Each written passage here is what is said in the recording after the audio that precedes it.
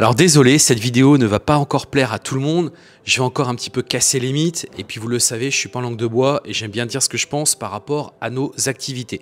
Salut, c'est Sébastien. Bienvenue sur cette nouvelle vidéo. Alors je pense qu'on a tous un petit peu fait le tour de comment pas payer ses taxes d'habitation, comment automatiser sa location courte durée, comment mettre en place un chat manager. Non, là ce que je vous propose, c'est une vidéo un petit peu particulière et tout simplement, on va découvrir dans quelques instants comment récupérer des clients à ses concurrents en conciergerie. Alors, je vais vous prendre quelques instants, quelques instants avant de commencer pour vous proposer de vous abonner à cette chaîne YouTube.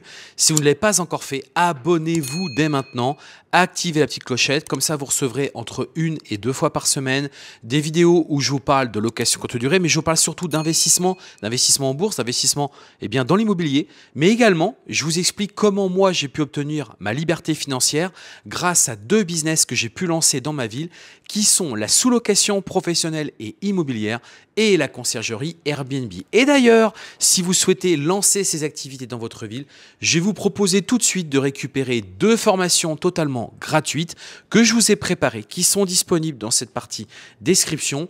Et vous verrez qu'une fois que vous les aurez récupérées, eh bien vous allez pouvoir me rejoindre en live puisque je vais lancer un webinaire où je vais répondre à toutes les question. Et autre chose avant de commencer, je voulais aussi vous rappeler que j'ai lancé il y a plusieurs mois maintenant mon podcast. Donc vous découvrez le lien dans la partie description. Je publie des épisodes où je parle d'argent, je parle de bonne gestion financière, d'éducation financière. Je vous propose de découvrir mes différents épisodes, format podcast dans cette partie description. Alors ce que je vous propose dans cette vidéo, c'est qu'on fasse un parallèle avec un, un domaine d'activité que je connais plutôt bien, puisque bah, moi, je me suis lancé à l'entrepreneuriat il y a 25 ans maintenant, et je me suis lancé justement dans un business qui a connu une énorme effervescence et qui ensuite s'est bien structuré. Et justement, bah, on peut faire le comparatif assez, euh, assez, assez facile, puisque c'est un marché qui aujourd'hui est archi concurrentiel. C'est lequel? C'est le marché de la téléphonie mobile. Le marché de la téléphonie mobile, on a connu les opérateurs principaux qui étaient Orange, qui étaient SFR, qui étaient Bouygues. Ensuite sont arrivés les MVNO. Et enfin est arrivé, il y a maintenant une quinzaine d'années de ça, Free sur le marché, qui a tout chamboulé. Et justement, j'y reviendrai dans cette vidéo, vous allez voir que c'est quelque chose de particulier que je vais vous réexpliquer. Et notamment, ça a été dans une période de ma vie qui m'a rendu en position très difficile parce qu'il y a eu un changement de marché, mais je vous en reparler un petit peu plus tard dans cette vidéo. Donc moi ce que je vous propose c'est qu'on fasse effectivement un parallèle parce que là on est vraiment je trouve c'est très intéressant parce que bah, ces différents opérateurs, en fait, euh, je vous le dis, quand moi je me suis lancé, alors là, ils se tiraient vraiment à fond dedans, dans les pattes, mais petit à petit, maintenant on voit bien, tout ça est globalement structuré, mais ça n'empêche pas qu'il y a toujours des nouveaux entrants, notamment des MVNO.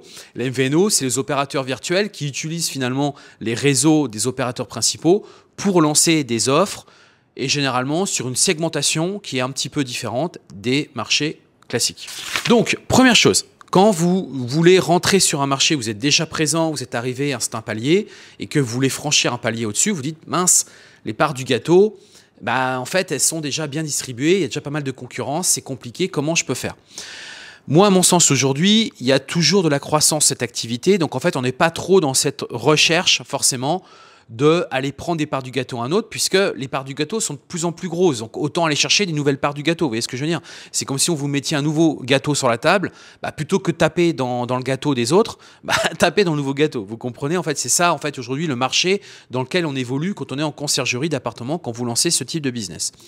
Mais prenons le cas où le gâteau, effectivement, est quand même de plus en plus petit, qu'il y a de plus en plus de concurrence, vous êtes sur une grande ville, ou alors vous êtes, vous êtes un petit peu en euh, essoufflé par rapport à la croissance de votre entreprise. Et là, vous dites, bah, comment je peux faire?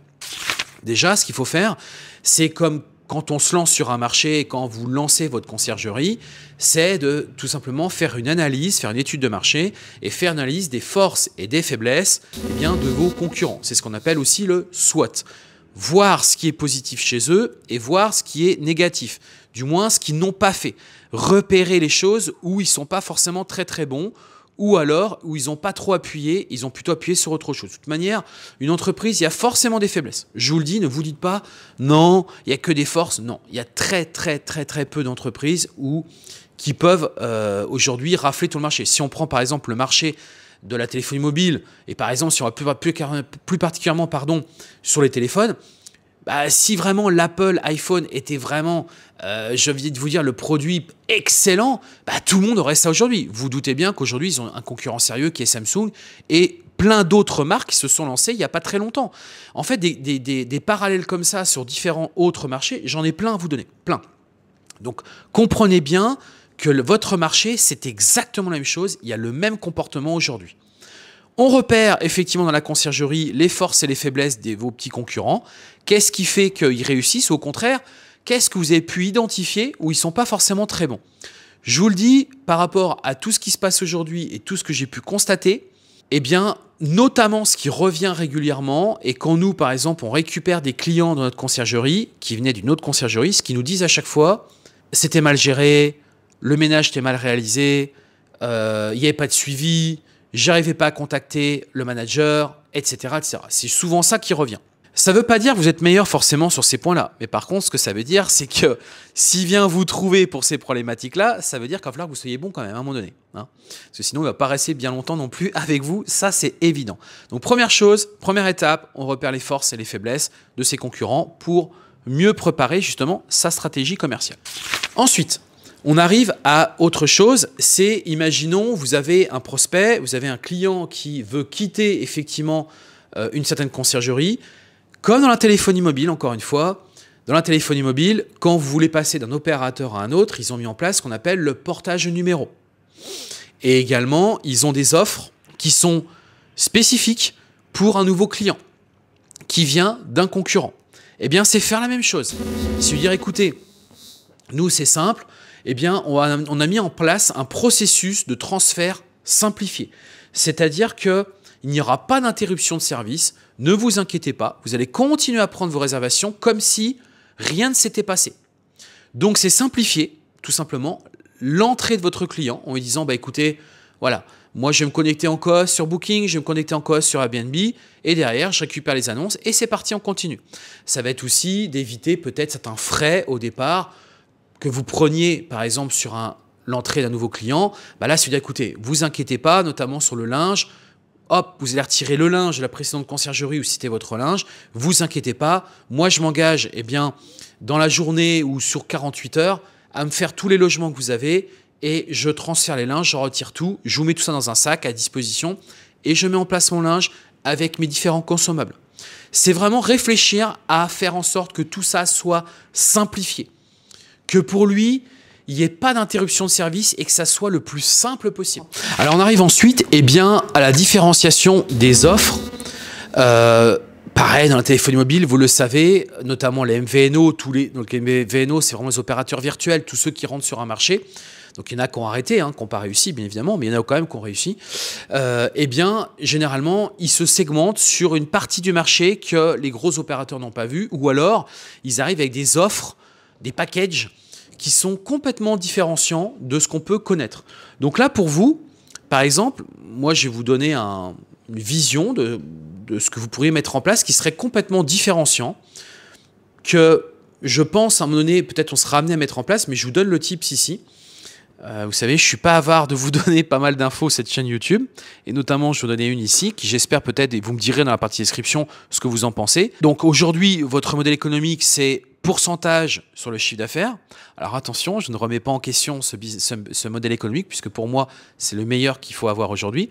Mais par contre, ça pourrait être corrélé à la qualité de service, et notamment par la mesure d'indicateurs via des KPI, et tout simplement mesurer des indicateurs de satisfaction, notamment le ménage, notamment eh bien, l'accueil des voyageurs, etc., etc. Et ce que je vais vous faire comprendre, c'est que vous pourriez très bien réfléchir à une offre qui serait un pourcentage sur le chiffre d'affaires avec des bonus et des malus en fonction du fonctionnement de votre conciergerie, en fonction de la performance. Donc ça veut dire qu'un client qui bosse avec une conciergerie, qui est moyennement satisfait, vous dites écoutez, moi j'ai une offre, c'est la même chose, mais en fait on fonctionne à la performance là, je peux vous assurer que vous faites la différence. Et ça, c'est quelque chose qui peut énormément vous permettre de récupérer des clients très rapidement d'un concurrent parce que je suis certain, certain que ça n'existe pas. Je n'ai pas vu ça encore aujourd'hui sur le marché et pourtant, ça peut être quelque chose qui peut énormément fonctionner. Par contre, ça veut dire qu'il faut mettre les moyens en face. Mais ça veut dire aussi, ne l'oubliez pas, et ça, il faut faire votre étude de marché, il faut faire votre modèle économique, préparer votre business plan. Imaginons vous êtes à 25% de base, il faut dire écoutez, nous, si derrière on a des indicateurs qualité qui font qu'on est à plus de 4,8, etc., et que vraiment on fait un travail vraiment propre, nous derrière c'est plus 5%. Mais je suis certain que le propriétaire acceptera de payer les plus 5% si derrière il sait qu'il y a de la performance. Faites le calcul, qu'est-ce que rapportent les 5% versus qu'est-ce que vous mettez en place pour atteindre ce niveau de qualité. Je peux vous assurer qu'il y a un, énorme travail, enfin il y a un travail de fond ici et qui peut faire clairement la différence. Vous me direz dans la partie description ce que vous en pensez, mais je pense que c'est un vrai tip ce que je vous donne ici aujourd'hui dans cette vidéo. Donc mettez en place justement eh bien, une offre qui est différente, mais il y en a très certainement d'autres, et si vous avez d'autres idées, n'hésitez pas à les partager, bien évidemment, mais ça, clairement, ça peut faire la différence. On arrive ensuite à la politique tarifaire. Donc ça, alors là, si on fait le comparatif avec la téléphonie, téléphonie mobile, moi à l'époque, je me rappelle, alors là, ça tapait dans tous les sens. C'était à qui euh, allait sortir l'offre la plus euh, concurrentielle que l'autre. À l'époque, je me rappelle, alors ça peut-être vous paraître bizarre aujourd'hui pour ceux qui, euh, les jeunes notamment, qui n'ont pas connu cette période-là, mais à l'époque, par exemple, ils avaient inventé les forfaits appels illimités.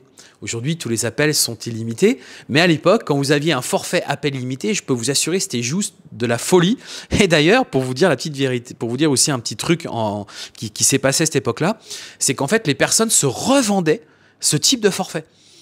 Et ce forfait coûtait très cher parce qu'en fait, c'était des offres qui avaient été lancées par un opérateur ils ont vite arrêté parce qu'ils se sont rendus compte de l'engouement du truc et qu'ils n'allaient pas pouvoir tenir dans le temps, bien qu'aujourd'hui, maintenant, ça y est, euh, les offres appel limité sont, sont généralisées. Mais à l'époque, ça faisait fureur.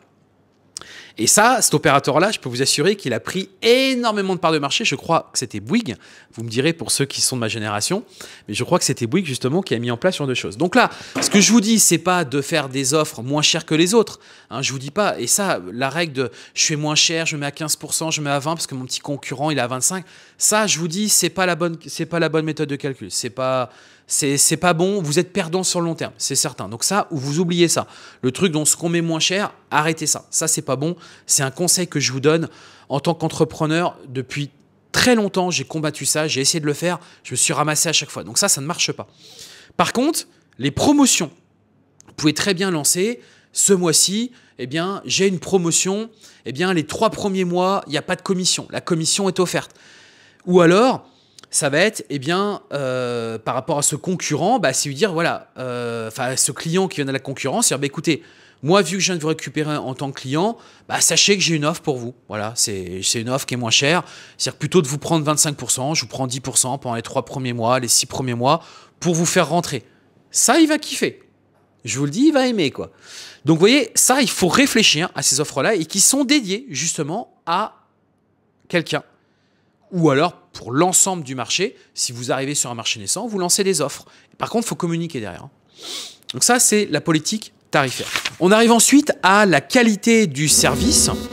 Euh, donc là, la qualité du service, ça va être, bah, on a déjà un petit peu parlé tout à l'heure, mais bah, effectivement, moi je me rappelle, si on fait le comparatif avec la téléphonie mobile, euh, bah, à l'époque, la communication des opérateurs, c'était, il y avait les prix, mais c'était aussi la couverture la couverture du réseau, c'était un énorme axe de communication. Donc c'était à qui avait la meilleure couverture. Aujourd'hui, globalement, ils sont globalement similaires, même si certains, je trouve, en mon sens, ont des lacunes. Mais voilà, en tout cas, comment les choses euh, fonctionnaient. Et ils ont mis en place effectivement, eh bien, des, euh, enfin, ils ont, ils ont travaillé sur la qualité. Donc nous, si on fait le parallèle avec nos sociétés, ça va être le ménage, clairement, ça va être le ménage. Donc soyez irréprochable, travaillez à fond là-dessus. Identifiez peut-être justement dans les faiblesses que vos concurrents bah, ont cette faiblesse-là, justement, et vous allez voir que vous allez pouvoir prendre des parts de marché très facilement en jouant justement sur la qualité du service que vous êtes capable de proposer. On arrive ensuite sur l'innovation euh, technologique. Donc l'innovation technologique, j'ai préparé mes petites notes que vous avez pu le voir. L'innovation technologique, ça va être par exemple, euh, ça les opérateurs l'ont fait, ils ont mis en place des applications qui permet eh de donner tout un tas d'informations ou par exemple de faire du paramétrage de, euh, par exemple, son répondeur, euh, les messages en automatique, etc. etc. Bah, vous pouvez très bien imaginer la même chose. Et d'ailleurs, je vous le dis, nous, on travaille en interne sur GuestLucky, un logiciel qui permet de gérer eh la conciergerie. Eh bien, sur GuestLucky, on est en train justement de travailler une interface spéciale pour les propriétaires pour leur donner accès à des fonctionnalités et des outils qu'ils n'ont pas dans une autre conciergerie. Ils n'ont pas ça. Et je peux vous assurer que si le propriétaire a son petit téléphone portable et qu'il est capable d'accéder à des petites fonctionnalités plutôt sympathiques, il va kiffer. Et ça, clairement, l'innovation technologique fait partie intégrante eh bien, de euh, tout simplement de, de, de, de l'offre que vous pouvez euh, proposer sur, euh, sur, sur le marché. Alors, on a aussi les réductions et les offres spéciales. Donc ça, j'en ai parlé un petit peu tout à l'heure, mais je voudrais revenir justement sur quelque chose qui est très important par rapport au marché dans lequel vous êtes aujourd'hui. Ce qu'il faut comprendre, c'est que le marché, il peut bouger. Moi, j'ai eu une leçon de vie qui a été très forte, très importante à une époque de ma vie. C'est, je vous l'ai dit, il y avait les opérateurs téléphoniques qui étaient Orange, Bouygues et SFR. Il y avait les MVNO. Le marché s'était construit autour de ça. Donc le marché, c'était quoi? C'était, euh, eh bien, les opérateurs avaient des offres à 50, 100, 150 euros par mois d'abonnement téléphonique. Et en contrepartie, ils vous offraient le téléphone. On a eu des iPhones à 1 euro. Ce qui s'est passé à un moment donné, c'est que euh, Free est arrivé et lui a dit, bah non, c'est pas comme ça que je vais fonctionner. Moi, c'est vous allez plutôt payer 19,90 l'abonnement, voire 9,90, voire même 1 euro par contre, le téléphone, vous le paierez le prix catalogue, le prix réel du marché. Ça a complètement chamboulé le marché. Le marché, ça l'a renversé. Tous les autres opérateurs ont été obligés de eux-mêmes de réagir par rapport à ça. Ça a eu des répercussions euh, assez énormes. Moi d'ailleurs, j'ai liquidé mon entreprise en partie à cause de ça, même à cause de ça clairement, puisque ça a changé le modèle économique. En fait, il y a eu un changement de modèle économique. Je ne sais pas si vous vous rendez compte, il y a eu un renversement. Et ça, quand ça arrive, moi, je l'ai pris comme une leçon de vie. J'ai Alors au début, je l'ai mal pris, hein, je vous le dis, parce que ça a provoqué une liquidation chez moi et ça a été très violent. C'est-à-dire, ça a été finalement une opportunité pour moi parce que ça m'a permis de me lancer et de créer une conciergerie d'appartement, chose que je ne faisais pas du tout auparavant. Vous comprenez? Vous voyez, chaque douleur finalement entraîne sur une opportunité. Donc pour moi, ça a été une vraie opportunité, un vrai tremplin. Mais attention, ça peut arriver aussi dans la conciergerie. Il peut y avoir un changement radical dans le fonctionnement. Et si vous n'êtes pas prêt à prendre ce virage, c'est la fin de l'activité. Mais attention, c'est ça l'entrepreneuriat, il hein, faut bien comprendre. Donc, si on reprend ça, ce qui s'est passé, eh bien, ils ont changé le modèle. Donc les autres opérateurs, bien entendu, avaient la capacité à eux aussi rebouger, mais vous comprenez que ça peut arriver. Donc ça, ce que je vais vous faire comprendre par là, c'est qu'à un moment donné, il faut aussi réfléchir et avoir des offres qui peuvent être complètement à l'opposé dans le fonctionnement. Par contre, ça, veut dire qu'il faut rester, euh, comment dirais-je, euh, bah, il faut quand même que ça soit euh, lucratif et que ça soit que vous gagnez toujours de l'argent. Sinon, ça sert à rien. Hein. Si c'est pour tuer un marché, ça sert absolument à rien. En tout cas, vous n'aurez pas les reins solides pour le faire. Il n'y a que des gros qui peuvent s'amuser à faire ce genre de choses. On arrive ensuite aux offres combinées. Donc les offres combinées, pareil, les opérateurs sont très forts là-dedans puisque bah, voilà, ils vont vous mettre la téléphonie mobile, ils vont vous mettre de, l'internet euh, chez vous avec la box, euh, des offres télévision. Euh, il, y a plein d'offres comme ça qui peuvent se faire. Bah, vous pouvez très bien avoir des offres combinées et notamment aujourd'hui, par exemple, avec le nettoyage, c'est tout à fait possible. Vous pouvez très bien bah, faire des offres en disant bah voilà. Euh, moi, euh, aujourd'hui, j'ai une offre euh, conciergerie, j'ai aussi une offre nettoyage. Et bah, par exemple, je suis capable de vous offrir un nettoyage de canapé par an, etc., etc. En fait, vous pouvez avoir des offres comme ça où ça va être aussi, par exemple, du rafraîchissement. Je travaille avec un partenaire. on est capable de, voilà, de vous faire un petit rafraîchissement, de repeindre tous les murs en blanc parce que bah, y a des traces noires qui sont arrivées. Ou par exemple, pour l'arrivée d'un nouveau justement client qui arriverait d'un concurrent, c'est dire, bah, vous voyez, moi, j'ai fait tous vos appartements, je vois les petites traces noires, ça c'est pour moi, je remets ça d'équerre. C'est plein de choses comme ça. Comprenez que ça, votre client va kiffer ce genre de choses. Donc, mettez ça en place dès maintenant et travaillez sur ces offres-là et ça va vous permettre d'avoir des offres justement qui vont être combinées euh, en plus de l'offre de conciergerie de base. On arrive ensuite eh bien, sur les partenariats et la diversification. Donc j'ai déjà pu aborder un petit peu la diversification.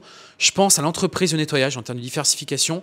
Pour moi, c'est très intéressant, l'entreprise de nettoyage. Pareil, hein, euh, vous le savez, j'ai lancé avec mon fils Pierre une entreprise de nettoyage. On vous a préparé une formation complètement gratuite là-dessus qui est disponible dans cette partie description. Vous regardez et ça vous permettra vous aussi à vous former à ce type de société.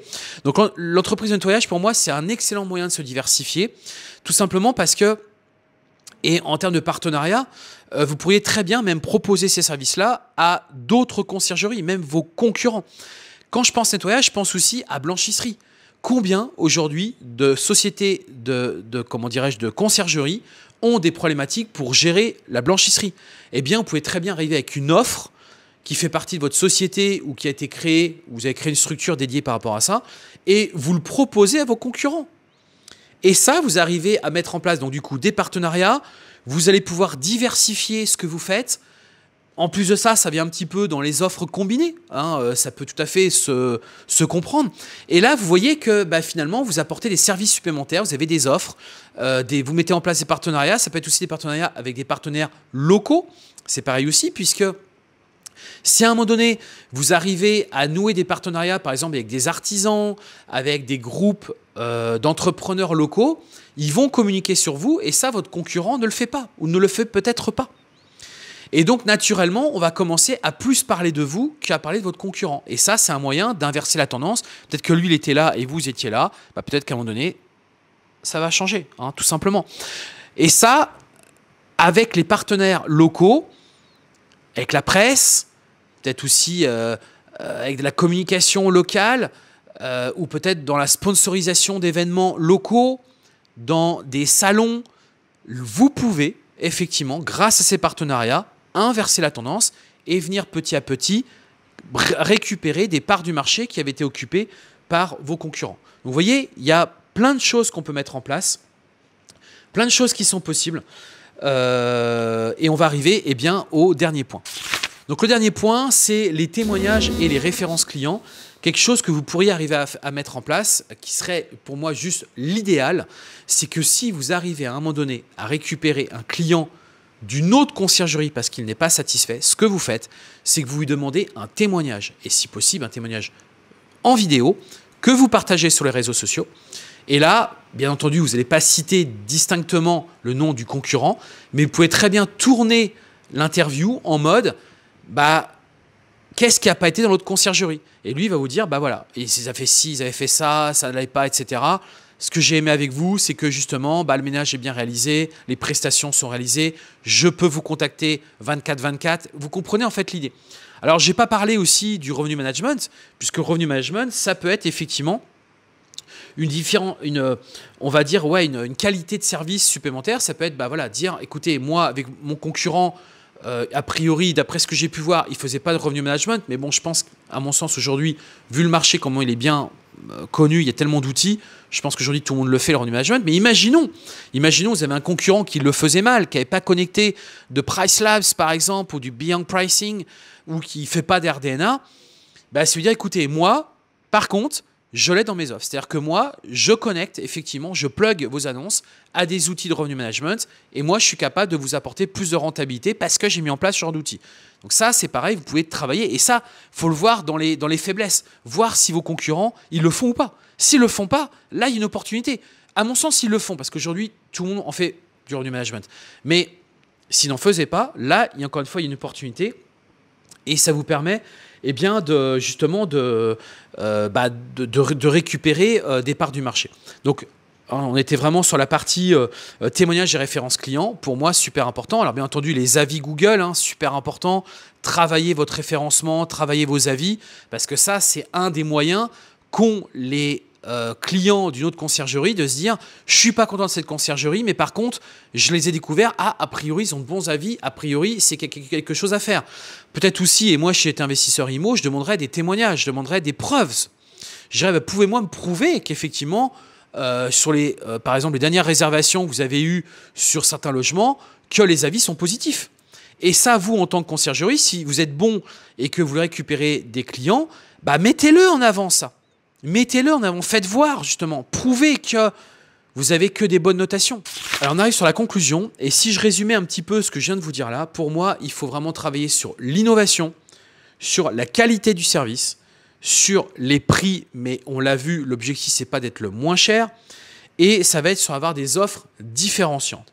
Si vous êtes capable de mettre en place tout ce que je viens de vous dire dans cette vidéo, honnêtement, vous allez voir, vous allez prendre énormément de parts de marché et vous allez pouvoir vous imposer sur votre ville.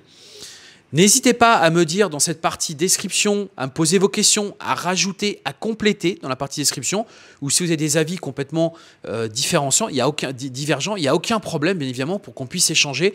Moi, l'idée, c'est vraiment de construire euh, eh bien, le futur, hein, construire le, le, lendemain de cette location courte durée, puisque ça a évolué énormément, surtout ces derniers temps.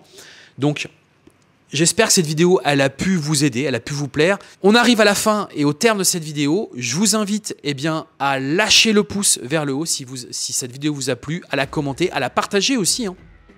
Parce que peut-être qu'elle peut aider justement euh, des personnes avec qui vous travaillez aujourd'hui. Comme vous le savez, vouloir changer de vie, c'est bien, mais le faire, c'est encore mieux. Je vous propose qu'on se retrouve tout de suite dans une prochaine vidéo. À très bientôt. Ciao